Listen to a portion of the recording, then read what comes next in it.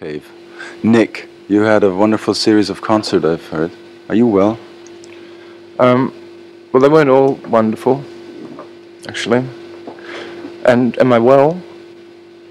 Um, oh, yeah, a little, yeah, a bit well, yeah. Yeah. Great.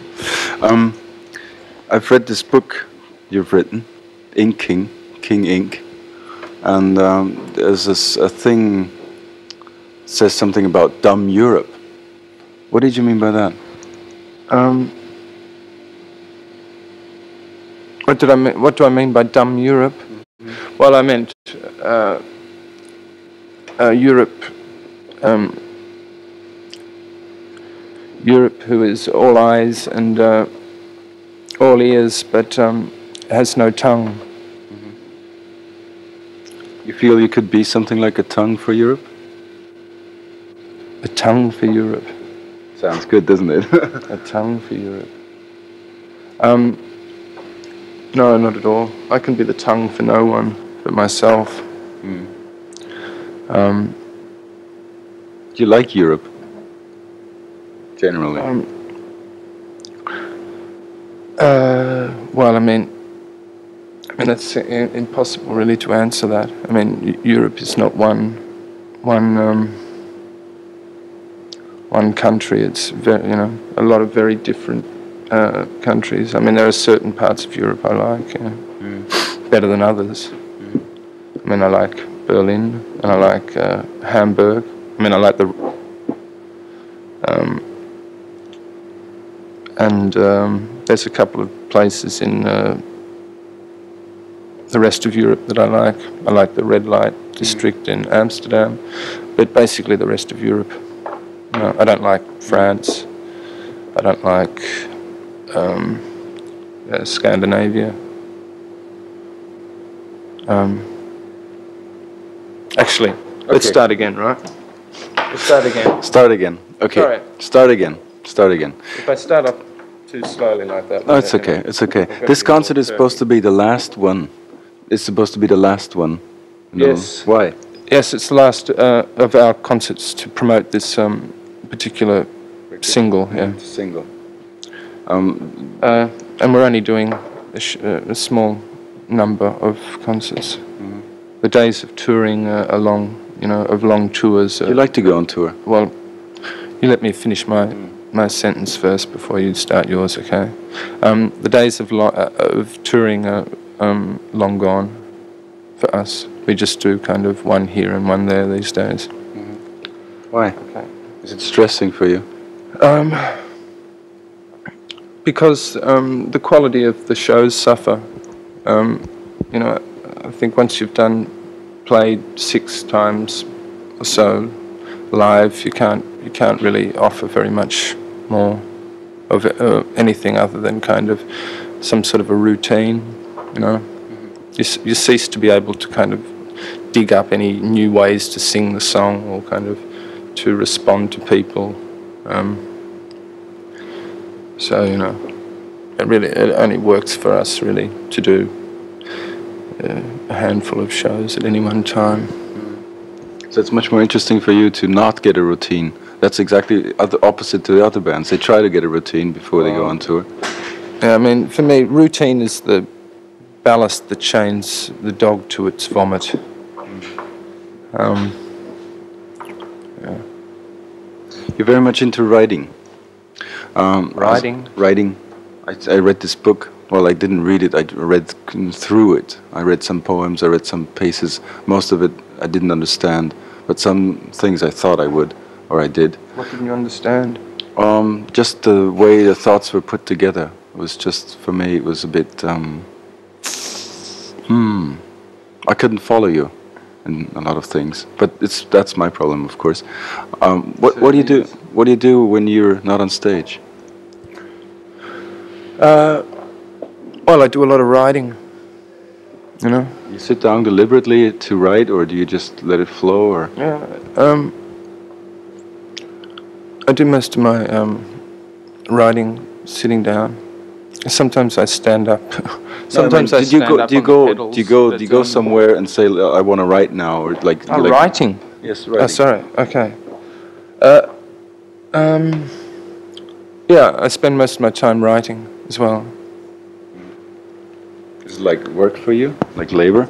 Uh, yes. You go there from nine to five, or is it just a job you do any time of the day? Um, no, it's um, it's like working from can to can't. Can can hardly see when you send out. Can't see a thing when you call back. It's you know all my waking hours are spent writing. Is there anything you'd like to really do, like writing? A, you wrote some plays, or there's some f- fractions of plays in this book. Is that a thing you would uh, sort of emphasize more, or you wanted to emphasize? What do you mean by that question? Well, I was um, trying to ask if there's anything you'd like to do with this sector of writing and being creative by writing. Um, Is there anything that would sort of tickle you, like write a, a film or write a play for a stage, for a big stage, or for, I don't know, something like that? Um, well, uh, I don't know, really. I don't know. I mean, I, yeah. Uh, I'd like to write a film or a play for a, a big stage. It'd be all right. You waiting for offers, or will you do it yourself? Um, well, at the moment, I'm writing a novel, and that takes up all my time at the moment. It will be out in autumn, I think, yeah? It's supposed to be out then? Uh, it was supposed to be out about three and a half years ago, actually, but um, it's taken a lot longer than uh, the publisher and I expected it to take. Um, but it's a yeah, it's a lot. It's the whole thing's a lot uh, more of a kind of mammoth, epic. Um, uh, yeah, thing than it, than it was. yeah. Could you rough it up? What's it? What it's about? It's about a mute that's uh, dumb, like dumb Europe. Um, it's uh, about a, a, a mute who can't speak, you know, boy can't speak. And uh, he's uh, uh, lying in uh, quicksand. This is this wet sand that sucks you under. And he's gradually um, being pulled under, and he's telling, uh, and he's being hunted down by people, and he tells the, the story of uh, how he's uh, gotten into this situation, and this story spans his entire lifetime from from the time in the boozy curds of his mother's womb, where he floated happily with his brother, to uh, to the time that he died. There, you know, I mean, moment. it's his death story, in fact. And uh, he tells the story of uh, a, a, kind of uh, waning or, or a small uh, religious sect who lives in this valley where he lives, who are kind of falling apart uh, morally and and socially, and um, he is an outsider, and he is, uh, lives on the very outskirts of this particular valley, and he is chastised and uh, punished and uh, generally um, kicked around by the people uh, of this valley. And the valley is a sugarcane growing industry as well. So the valley is uh, made up of itinerant workers who drift in and uh, uh, harvest the fields and so on. You know, rough, dirty men and kind of religious fanatics, Puritans, so on. And uh, my novel uh, dissects this uh, dichotomy. Are you afraid of dying? Yeah, I'm. I am terrified of dying at the moment. Is that the way you sort of imagine your own death in the moment of death, like uh, strolling through your past life? Yeah, I mean that. Um, yeah, maybe that's what hell is. Maybe maybe hell is just your life uh, in retrospect. Um, but no, I don't imagine. I, I don't imagine that's what death is. But I um, sometimes I, I feel sick to think of uh, dying. Uh, when I think of um, what will happen after I'm, you know, dead, my mortal body is dead.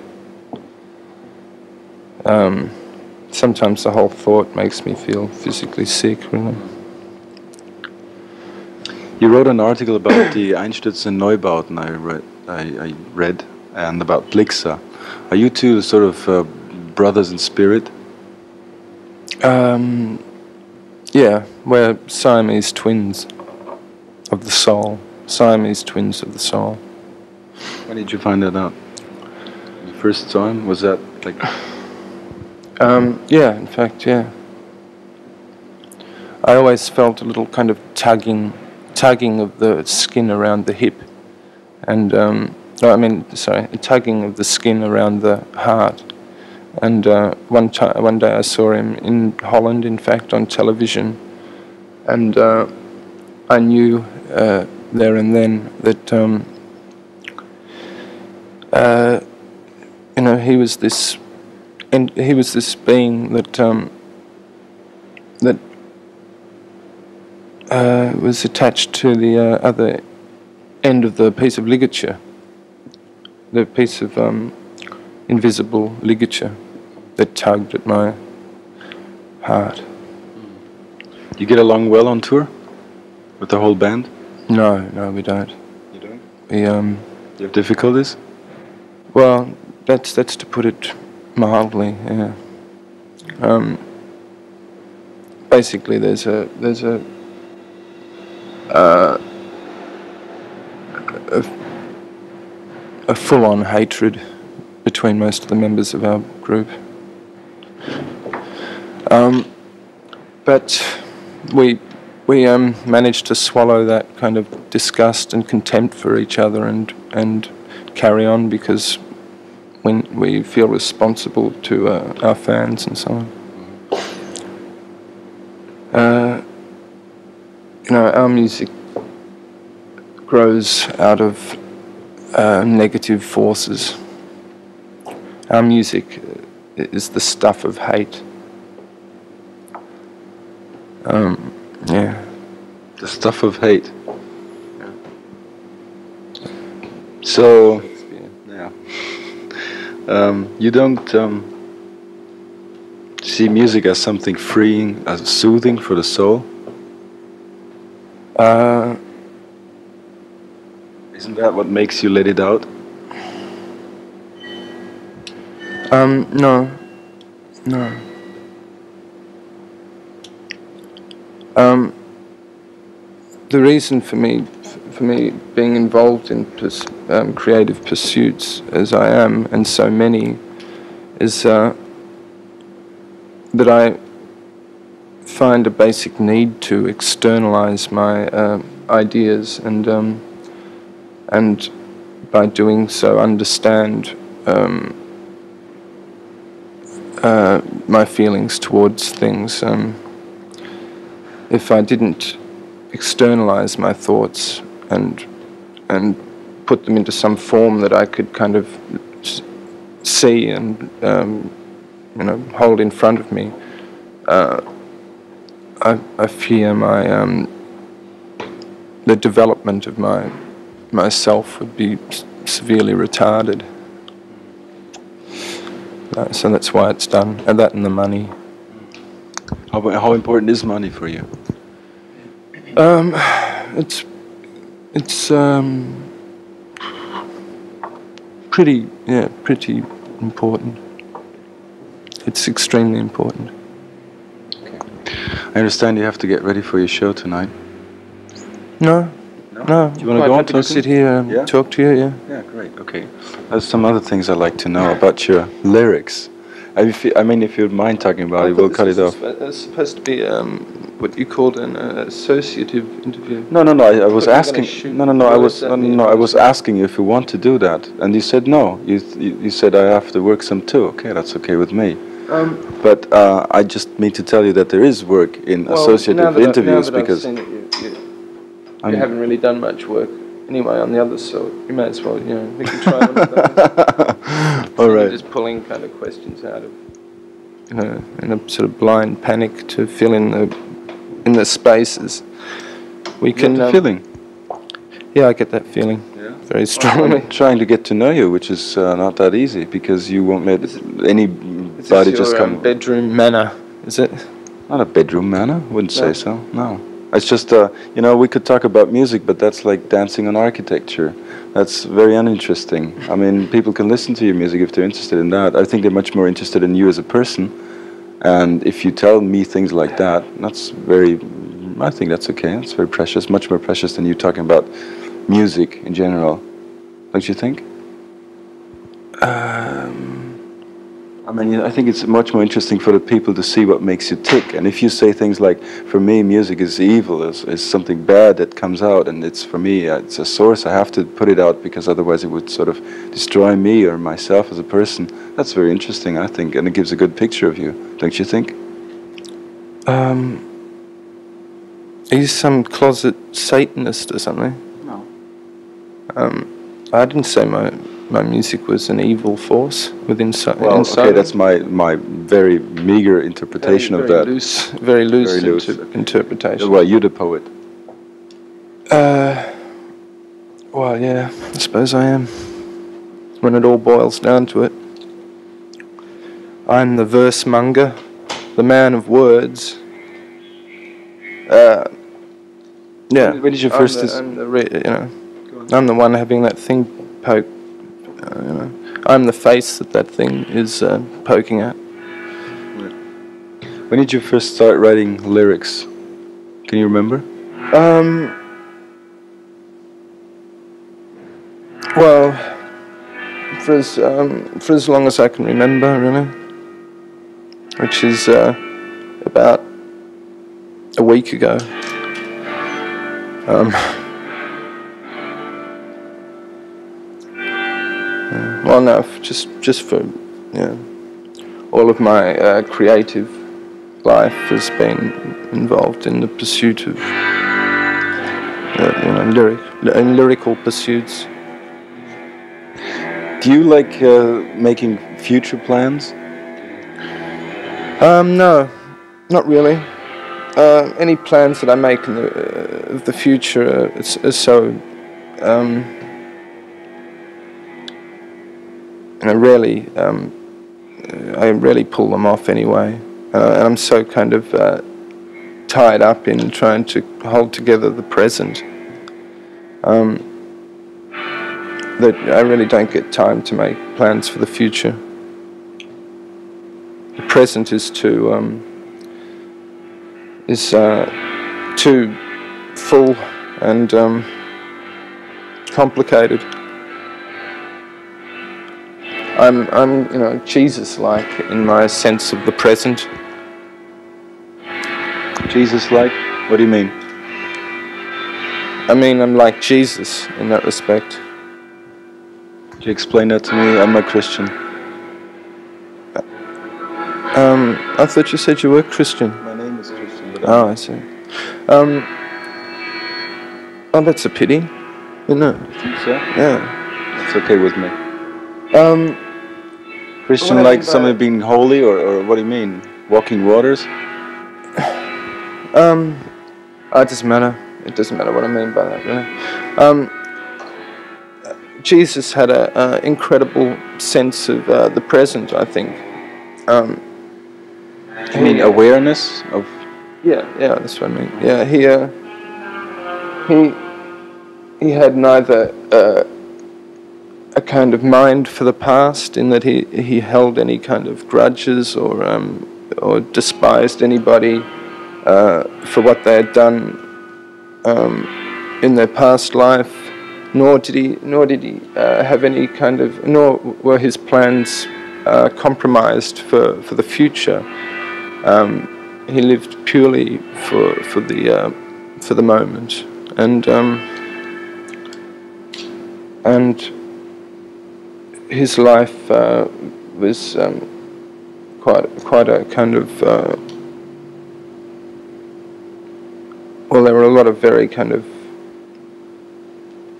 uh, terrible forces going on in his life, and uh, he, uh, I think he must have been quite a clever person to um, to maintain this kind of awareness of uh, the future, of You- the uh, present. Do you sorry. think it has to do with cleverness or Um, thoughtfulness? Well, being a um, being a kind of uh, for someone like myself who oscillates between um, belief and um, doubt, as I so often uh, am. It often ma- makes makes things a lot easier if I believe that Christ was just an incredibly clever person rather than that he was imbued with some uh, godly spiritualness. Um, it's quite easy to understand uh, why Christ could be the way he was if, if you were to believe that he was uh, he was in fact um, a limb of a limb of God Himself. Um, but but to um, to have that opinion, then then you have to kind of believe in in uh, God and so forth. And and Do you? well, Are you? Would I you say you're religious? myself- um, yeah, I, I, yeah, I would say I was religious. Yeah, but I mean, I, I um, I have a lot of trouble, uh, a lot of problems um, maintaining a belief in the whole thing.